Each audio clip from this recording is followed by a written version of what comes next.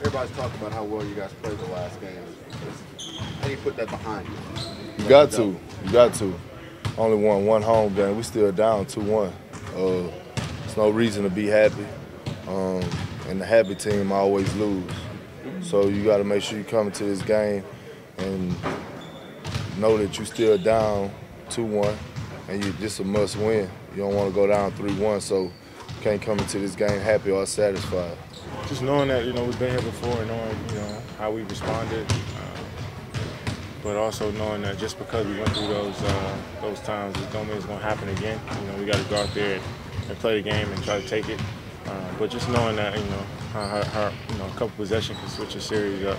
I thought our on the ball defense was was great. Uh, starting with Russ, thought he set the tone early, but you got to be there again tonight for 48 minutes.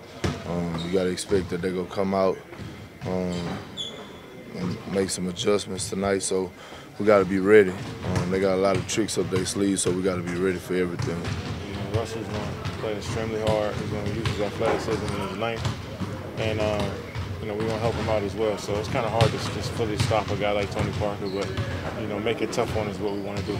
So we have to uh, make sure we, we, you know we, we rebound the basketball and get it out and run. Uh, but we can't give them second chance points because those are most likely three pointers. So you know we got to be engaged. We got to make sure that we start off early, not turning the ball over, and not wasting any possessions on the defensive and offensive end in the first and second quarter.